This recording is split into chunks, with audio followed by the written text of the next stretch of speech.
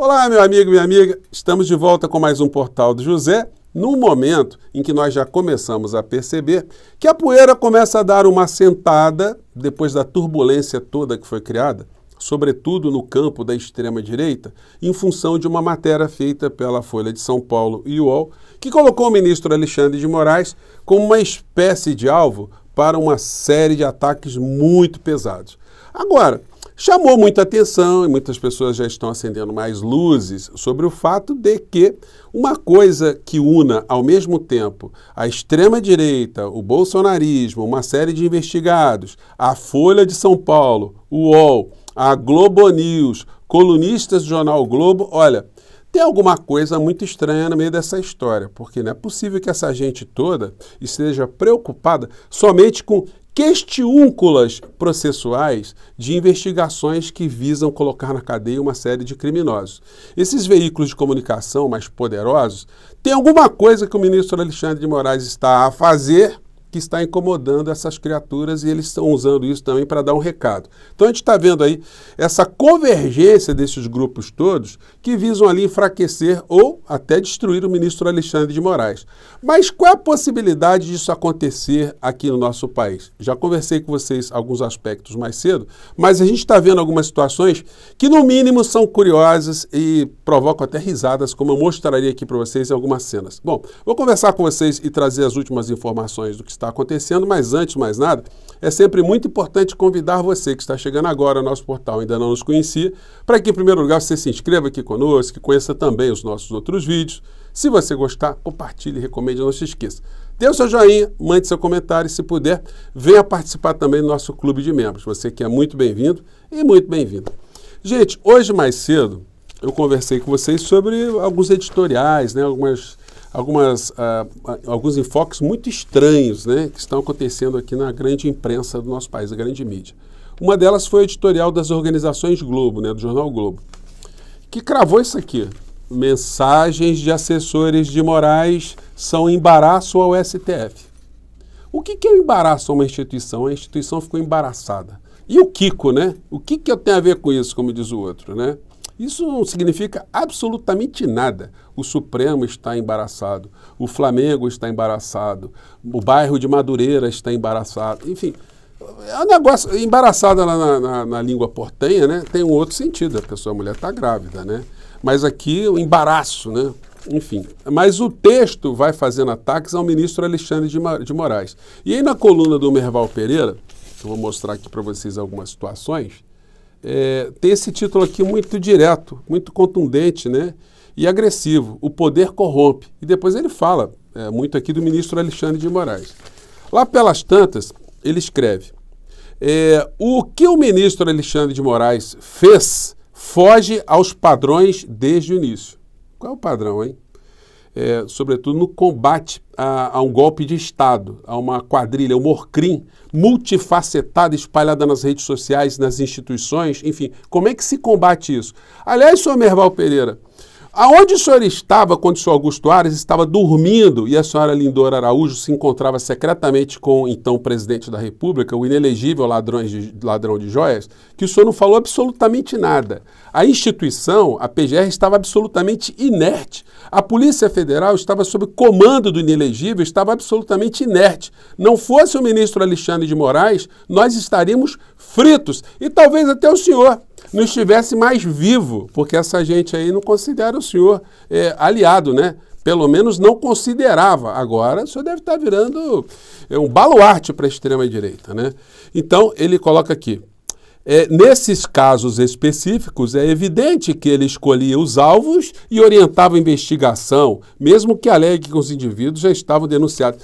Senhor Merval, como é que ele escolhia alvo, os alvos estavam sendo é, jogados, estavam pulando na cara deles, estavam pulando na minha cara, na cara do povo brasileiro. Essa gente estava conspirando, estava destruindo a democracia. Muitos foram responsabilizados. Bom, e aí a gente vê uma situação muito curiosa hoje, né? Eu estava assistindo é, mais cedo a Globo News, e aí o senhor Merval Pereira começou a tomar a trombada do Valdo Cruz, um dos colunistas ali, que falou, olha, é, essas questões é, internas, é, processualísticas, né, eu conversei com alguns ministros, eles disseram que, com algumas pessoas, né, juristas, disseram que não teve nada de, de, de irregular, não teve perseguição a ninguém especificamente.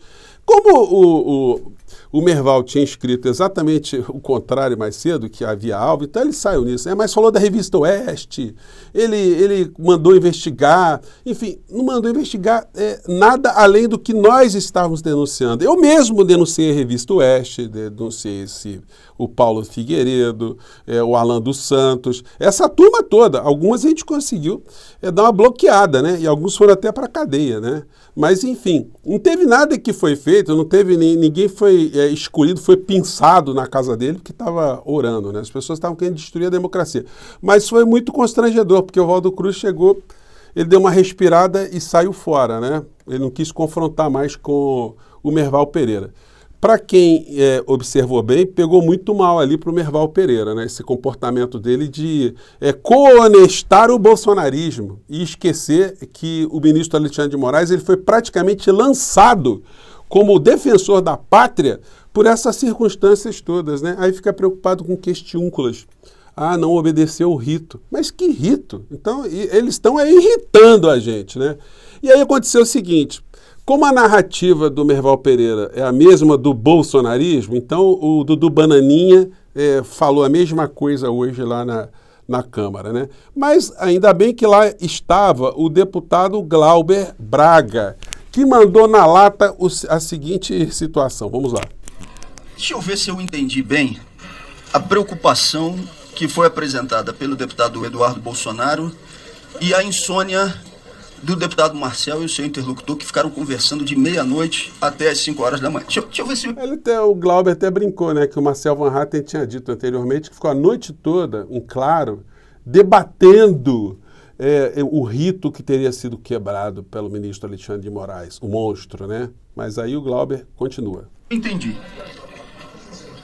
Houve um relatório de uma assessoria de enfrentamento à desinformação do TSE Relatório esse que diz que Eduardo Bolsonaro, Rodrigo Constantino, Paulo Figueiredo e Revista Oeste fazem parte de uma articulação golpista de extrema-direita e que propõe desinformação. Olha, o TSE está gastando dinheiro à toa. Não precisava dessa assessoria. Bastava me solicitar. Ou a qualquer brasileiro, em dois minutos. Fazendo uma análise e uma pesquisa na internet iam ver que é exatamente isso. Precisava da assessoria do TSE para fazer isso. Algo que é mais do que evidente. Que essas quatro figuras representam exatamente uma articulação golpista de extrema-direita. Mas aí o deputado Eduardo Bolsonaro fala que esse relatório foi uma grande espionagem contra ele. Oh, meu Deus. Apoio Ramagem para prefeito da cidade do Rio de Janeiro. Ramagem que espionou os senhores, espionou deputado, espionou jornalista, espionou todo mundo. E o grande problema é o relatóriozinho que foi encaminhado dizendo que essas quatro figuras pregavam desinformação na internet. Ah, meu Deus do céu. Essa é a famosa cortina de fumaça, né? Estão com medo da responsabilização por aquilo que fizeram e que continuam fazendo, tem que responder sim. Por um processo de articulação golpista, por uma linha de orientação fascista, por articulação de grupos de extrema-direita. Esses quatro que foram indicados aqui nesse relatório, deputado Eduardo Bolsonaro, não são absolutamente nem a ponta do iceberg da estrutura que os senhores montaram e que tem que ser sim responsabilizados por isso. Eu, votei para que as pessoas possam, quando estiverem nas unidades prisionais, visitar as suas famílias. Mas vocês foram contra a saidinha vão ter que responder por isso. Obrigado, deputado Glauber. Então deu uma sacaneada, né? Que essas figuras todas do bolsonarismo, quando estiverem presas, não vão poder nem fazer uso da saidinha, né? Porque é, votaram contra, né? Ainda tiveram que escutar isso. Então essa gente está começando a cair no ridículo de uma maneira mais contundente. E mais ridículo ainda eles acharem as coisas surrealistas que eles acham, né? Urgente, X do Elon Musk divulga mais decisões ilegais de Moraes. Aí então essa criatura, né, é a vanguarda do atraso da extrema direita, o Elon Musk de novo, né? E o ministro Alexandre de Moraes está tão preocupado com isso que ele pegou e deu uma sapecada hoje, uma multa violenta no, no, X aqui no Twitter aqui no Brasil, em função de ainda não ter correspondido aos comandos lá de tirar do ar o Marcos Duval, né, o senador da SWAT. O X não. Por conta disso, o ministro Alexandre de Moraes, do Supremo Tribunal Federal, fez uma nova decisão endereçada ao administrador do X aqui no Brasil. E está determinando um aumento dessa multa, que era de 50, 50 mil para 200 mil. O valor do pagamento dessa multa é um valor diário caso a decisão não seja cumprida. E há uma observação ainda, falando que pode se caracterizar o crime de desobediência a uma ordem judicial, o que pode ser uma justificativa, por exemplo, para um pedido de prisão, ainda segundo a decisão do ministro Alexandre, para o responsável legal do perfil do X aqui. Eu acho melhor esse funcionário do X mudar de emprego, porque se ele for acatar o que está dizendo aí o chefão dele internacional, Elon Musk, vai acabar na cadeia, né? Vamos ver se vale a pena para ele, né?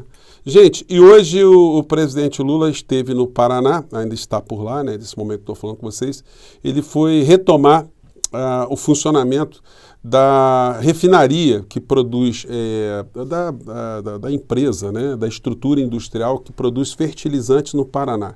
E aí na abertura lá passaram esse filminho que eu vou é, repassar aqui um trechinho para vocês. Vamos lá. Investiremos em fertilizantes e na petroquímica como forma de ampliar nosso mercado de gás e aproveitar sinergias com nosso parque de refino. A retomada das atividades da ANSA vai garantir mais segurança para o agronegócio, promover o desenvolvimento da região e gerar emprego e renda. É impressionante como é que o Paulo Guedes queria vender eh, essa, essa refinaria, desarticulou. O Brasil passou a importar eh, fertilizante, né? Uma coisa que ninguém entendia, né? E o presidente Lula foi lá é, retomar o funcionamento dessa, dessa, dessa planta né, industrial. Em dado momento lá ele se emocionou, foi muito abraçado pelos funcionários, que foram todos readmitidos, né? Mas ele lembrou lá da passagem dele pelo Paraná. Vou pegar esse trechinho aqui.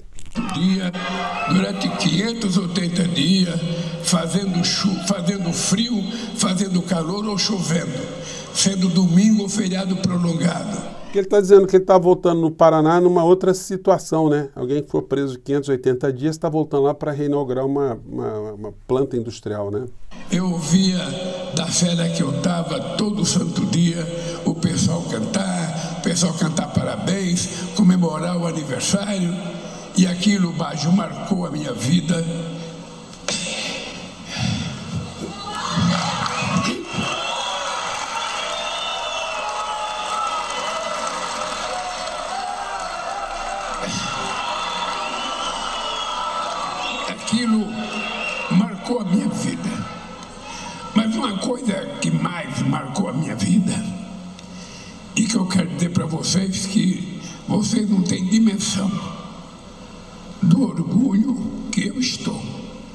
de estar, de estar vestido essa, essa E aí, gente, não aguentou, né? Foi vestir aqui o jaleco da, da Petrobras que ele fala na sequência, né, que virou um símbolo que, do, dos trabalhadores que não podiam entrar em lugar nenhum com esse jaleco cor de abóbora, que eh, eram hostilizados, eram ofendidos. Né?